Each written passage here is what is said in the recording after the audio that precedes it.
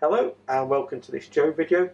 We want to introduce you to the uh, setup that we've got here for rapid grid making and time resolved studies that we're developing over in Leeds. We're aware this isn't a standard system, but we hope that by giving you a detailed account of all the things and the parameters that we do, you'll be able to develop similar systems in your own laboratories. A detailed description of the device is given in the written protocol.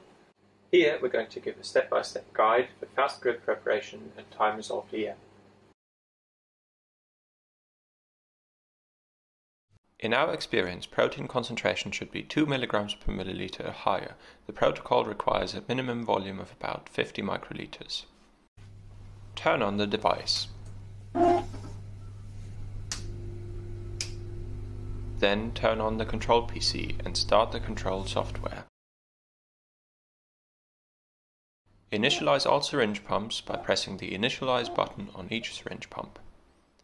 Turn on the potentiometer power supply, set it to 9 volts and start the oscilloscope control software.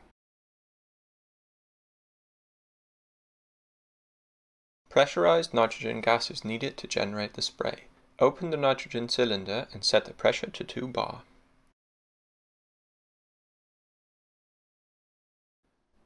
Ensure all syringe pump valves are in load position.